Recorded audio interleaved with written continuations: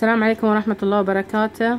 اليوم حبيت أشارك معاكم هذا الفيديو اللي يشرح طريقة عمل هذه الوردة اللي تكون في الوسط بتلاتها. بارزة وفي الأطراف تكون البتلات آه، مفروشة ومنبسطة وتكون في في الخلف أوراق خضراء. وتقدرون آه، هاي الوردة تزينون بها الفساتين والقبعات والشنط وكل شيء إن شاء الله. وحياكم معاي عشان نشوف طريقة عمل هذه الوردة. وإن شاء الله تكون بطريقة مبسطة. عشان نشتغل هاي الوردة نحتاج إلى ثلاث ألوان من الخيوط لونين حق الوردة واللون الأخضر للأوراق واستخدمت معهم سنارة رقم أربعة ونص ونحتاج إبرة للتنظيف والمقص حق الخيوط. طبعا راح نبتدي إن شاء الله باللون الوردي.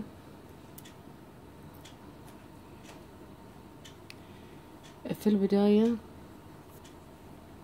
نشتغل ست سلاسل ونربطهم ونسويهم دائرة بمنزلقة. لكن أنا راح أشتغل إن شاء الله بالحلقة السحرية. راح نسوي الحلقة السحرية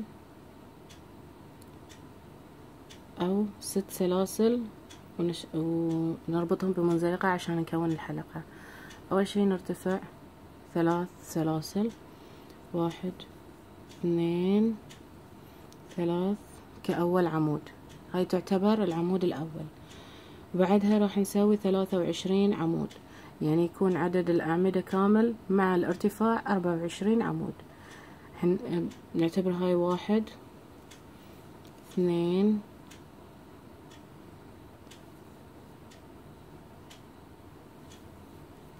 ثلاثة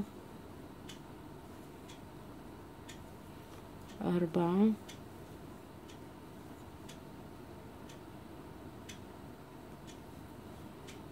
خمسة ستة سبعة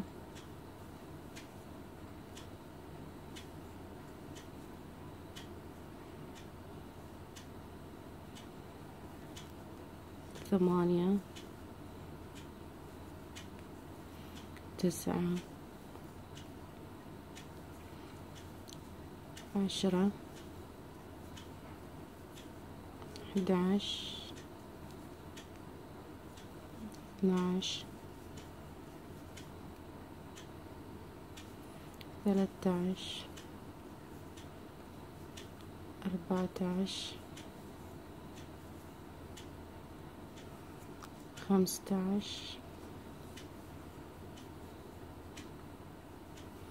ستة عشر سبعة عشر ثمانية عشر تسعة عشر عشرين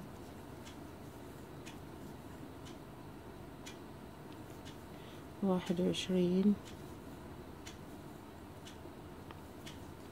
اثنين وعشرين.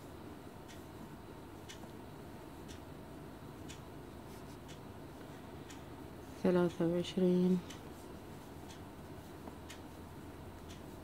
أربعة وعشرين. بعدين نشبك بمنزلقة في أول عمود. يعني فوق آه، في آه ثالث سلسلة من السلاسل اللي تعتبر أول عمود من سلاسل الارتفاع. فيصير عندنا أربعة وعشرين عمود ونشد الدائر الخيط اللي في الدائرة السحرية عشان نقفل في الوسط. تصير عندنا بهاي الشكل.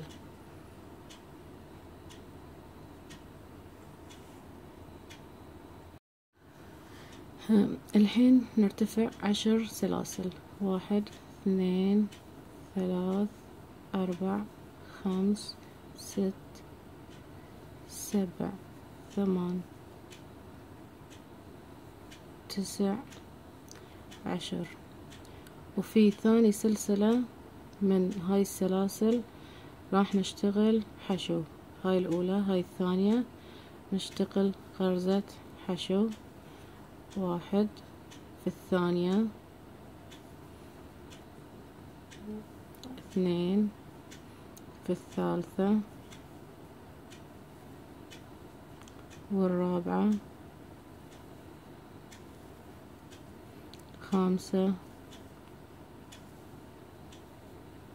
والسادسة.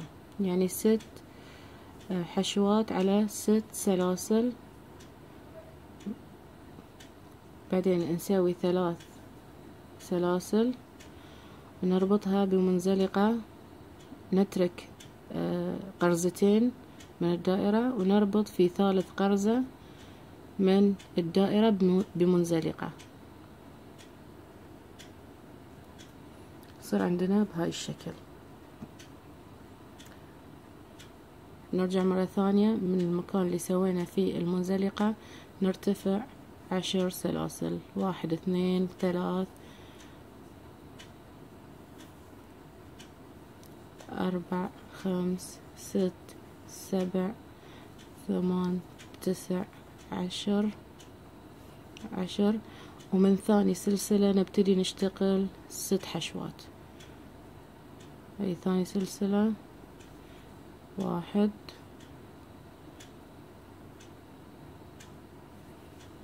واحد. اثنين. ثلاث.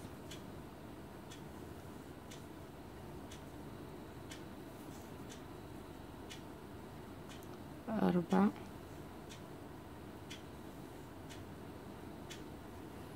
خمس. ست. ونشتغل. ثلاث. سلاسل. ونترك غرزتين من السطر السابق ونسوي ونشبك بمنزلقة في ثالث غرزة. وطبعا نواصل هاي الطريقة إلى أن ننتهي من الدائرة.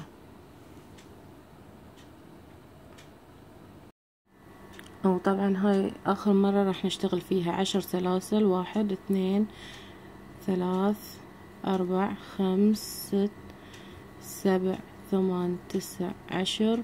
ونشتغل عليهم الست حشوات. نبتدي فيها من ثاني سلسلة. تكون واحد اثنين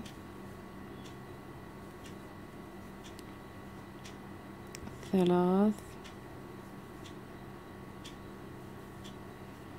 أربع. خمس. ست. وبعدين نشتغل ثلاث سلاسل. وبما إن هذه آخر مرة راح نشبكها بنفس المكان. اللي طلعنا منه في أول مرة. بعد ما نترك القرزتين بيكون نفس المكان اللي طلعنا منه بأول مرة. نسوي منزلقة. نشتغل منزلقة. وراح تتكرر معانا ثمان مرات. بهاي الشكل. صارت معانا ثمان مرات. بعد ما سوينا هاي لين حق البتلات هاي اللي راح نسوي عليهم بتلات. أول شي راح نشتغل البتلات البارزة بنفس لون الخيط الأول اللي نست... اللي قاعدين نستخدمه. راح ندخل في هاي الفتحة اللي هني صارت عندنا بمنزلقة. وبعدها راح نرتفع ثلاث سلاسل. هاي الارتفاع. بعدين راح نسوي بنفس المكان خمس أعمدة اثنين آه آه ثلاثة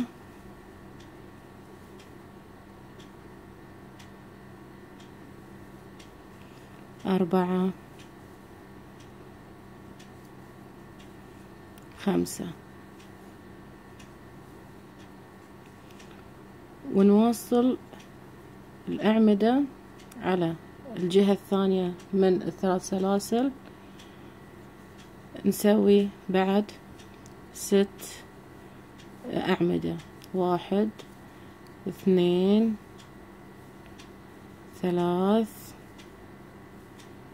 أربع خمس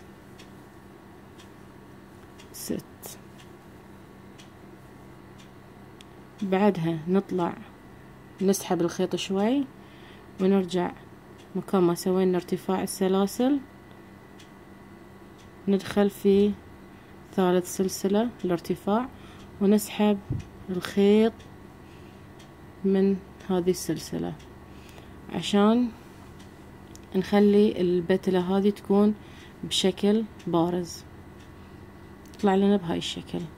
وطبعا نواصل شغل الأعمدة مباشرة في البت في المكان الثاني الفتحة الثانية. على طول نبتدي الأعمدة. راح نسوي ست أعمدة في على الثلاث سلاسل الأولى. اثنين ثلاثة أربعة خمسة ستة. وبنفس الشيء نسوي ست سلاسل على الثل... آه، ست أعمدة على الثلاث سلاسل اللي في الطرف الثاني. واحد اثنين ثلاث أربع خمس ست.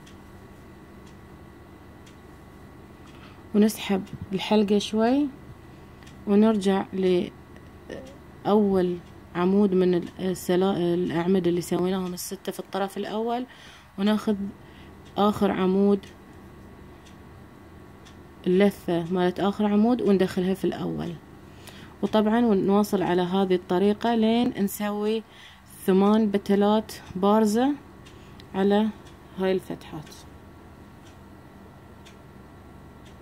طبعا وصلنا لآخر بتلة وراح نشتغل فيها ثمان سلا أعمدة على الثلاث سلاسل الأولى. اثنين ثلاثة أربعة خمسة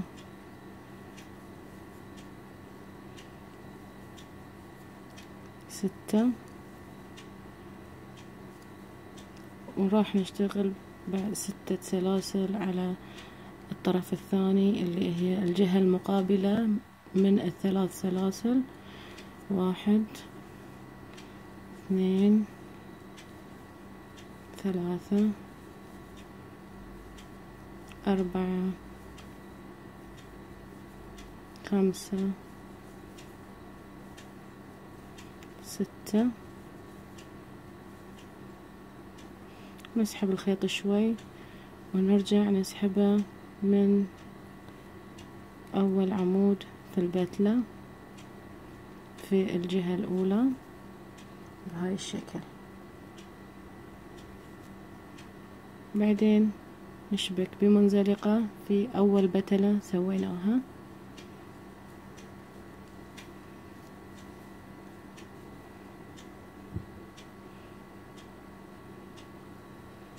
بهذا الشكل. ونكون انتهينا من عمل البتلات. نقفل الشغل ونقطع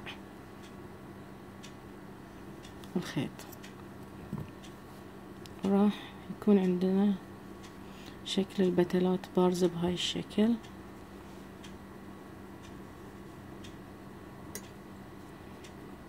هاي البتلات البارزة راح تكون عندنا بهاي الشكل.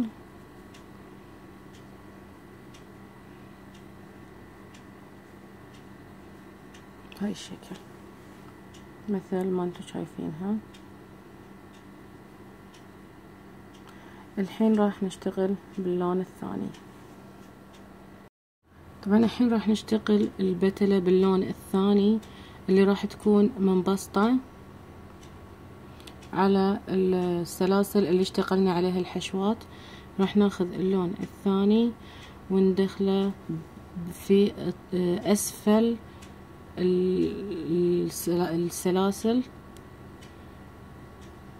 اللي تكون براس البتلة اللي قبل.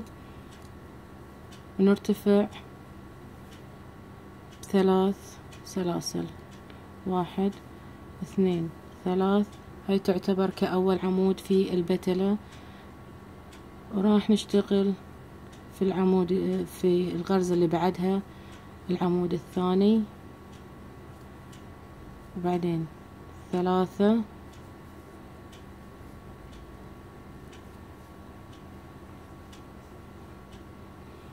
أربعة.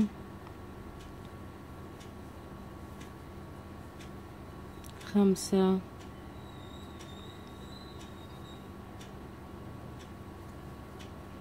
في المكان اللي راح نسوي فيه العمود السادس نشتغل عمودين عمود العمود الثاني في نفس المكان عمودين بنفس المكان ونشتغل ثلاث سلاسل عشان نسوي فوق العمود غرزة بيكو. مباشرة نلف على غرزة الحشو أول غرزة حشو اشتغلناها بالطرف الثاني ونشتغل عليها عمودين بهاي الطريقة.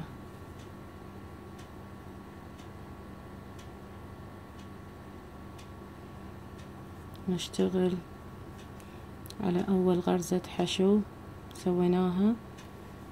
عمودين. واحد اثنين.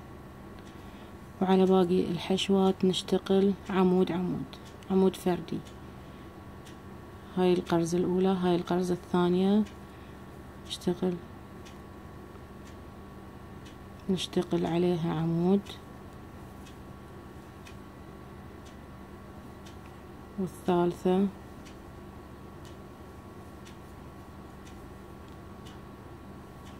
والرابعة. الخامسة. والسادسة.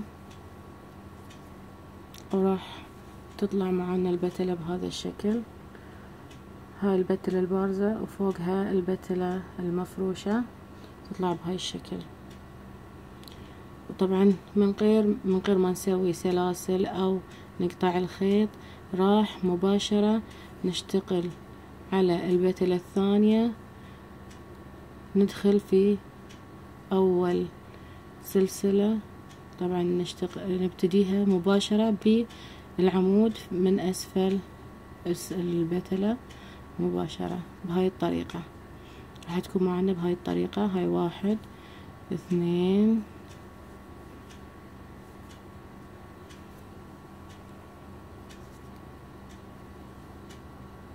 ثلاثة أربعة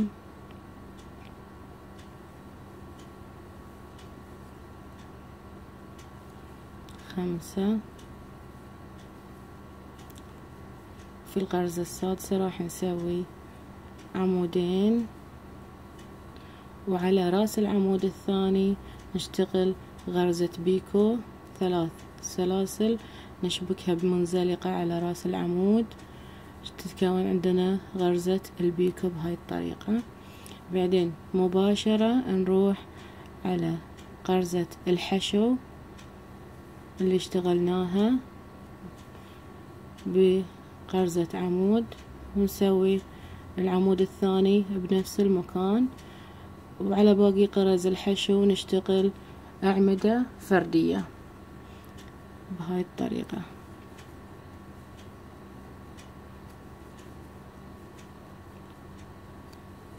طبعا نواصل بنفس الطريقة على باقي البتلات. إلى نصل إلى آخر بتلة. بهاي الشكل يطلع معنا. البتلات المفروشة. طبعا وصلنا لآخر بتلة وراح نشتغل عليها أول خمس سلاسل آه، أول آه، خمس آه، غرز نشتغل عليهم عمود فردي واحد اثنين ثلاث أربع.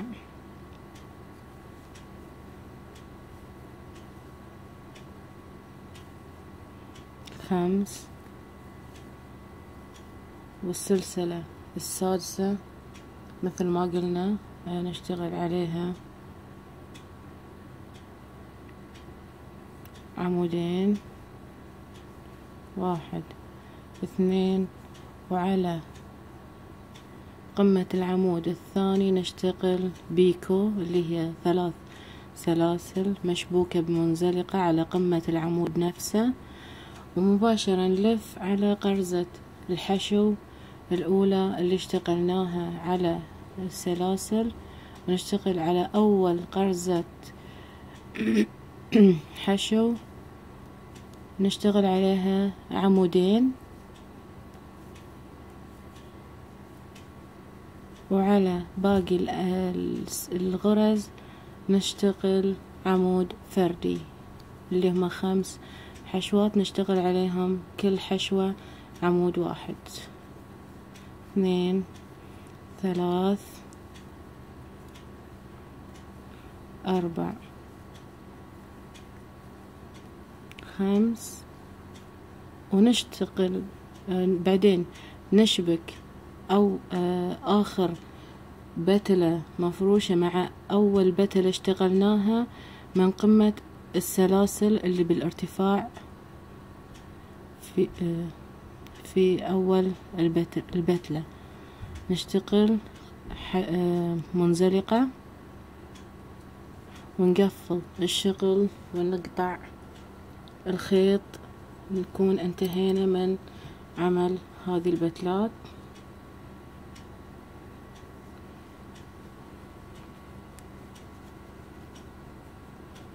تكون صار شكل الوردة بهذه الطريقة. بتلات بتكون شوي بارزة والبتلات بتكون مفروشة بهذه الطريقة. والحين راح نشتغل الأوراق واللي هي راح تكون باللون الأخضر. الحين راح نشتغل الأوراق باللون الأخضر لكن الأوراق راح نشتغلهم من الخلف. أول شي راح ناخذ الخيط ونشبكه في أعلى اللون الأول اللي اشتغلناه في هاي المكان. راح نشبكه في هذا المكان. وبعدها راح نشتغل ثمان سلاسل. هاي السلسلة اثنين ثلاث أربع خمس ست سبع ثمان. وراح نشبكها في من خلف البتلة اللي بعدها. في اللون الأول اللي استخدمناه في البتلات. بهذه الطريقة نشبكها بمنزلقة. بعدها راح نواصل نسوي ثمان سلاسل. واحد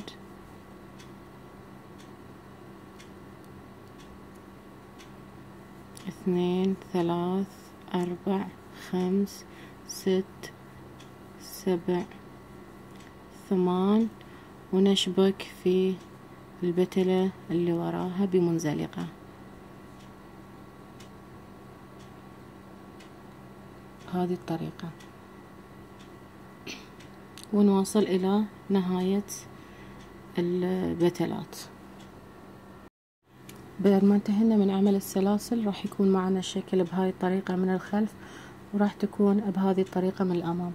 بعدها راح نشتغل آه راح نقلب يعني ما راح نخليها بالقلب راح نعدل الشغل وراح نشتغل عليها بهاي الطريقة بالعدلة مو بالمقلوبة. راح نرتفع سلسلة نشتغل حشو. بعدها راح نشتغل نص عمود. بعدها عمود والعمود الثاني. بعدها عمود بلفتين.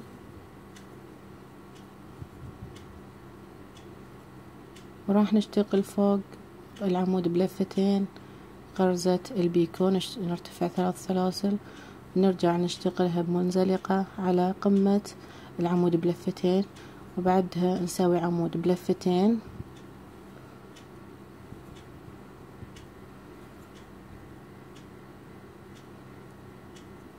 وعمود بلفة.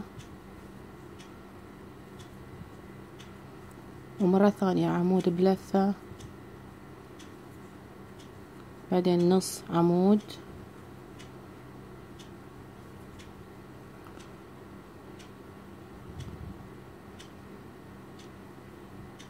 نص عمود.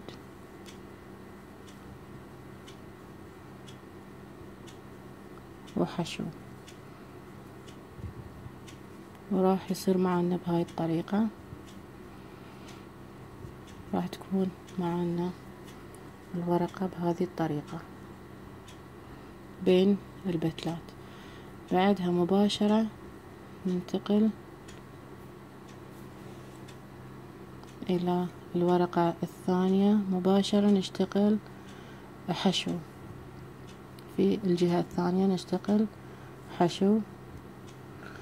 بعدين نص عمود اللي هو عمود بدون لفة. بعدين عمود بلفة. وعمود ثاني بعد بلفة. بعدين عمود بلفتين.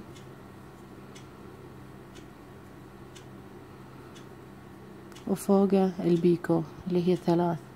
سلاسل نشبكها بمنزلقة على قمة العمود بلفتين بهاي الشكل. بعدها نسوي عمود بلفتين. بعدين عمود بلفة. وعمود بلفة. بعدين نص عمود.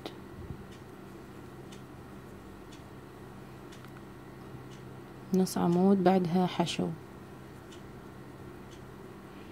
صار عندنا ورقتين بنفس الطريقة. ننتقل حق اللي بعدها مباشرة حشو. نص عمود. بعدين عمودين. واحد. عمودين بلفة. اثنين. بعدين عمود بلفتين.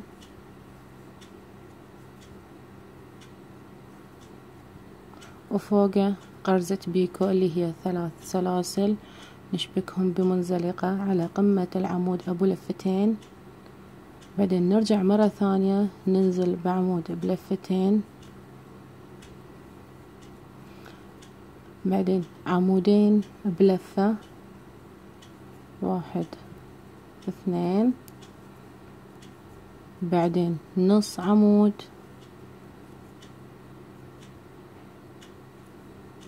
وبعدها حشو. ونواصل إلى نهاية السلاسل.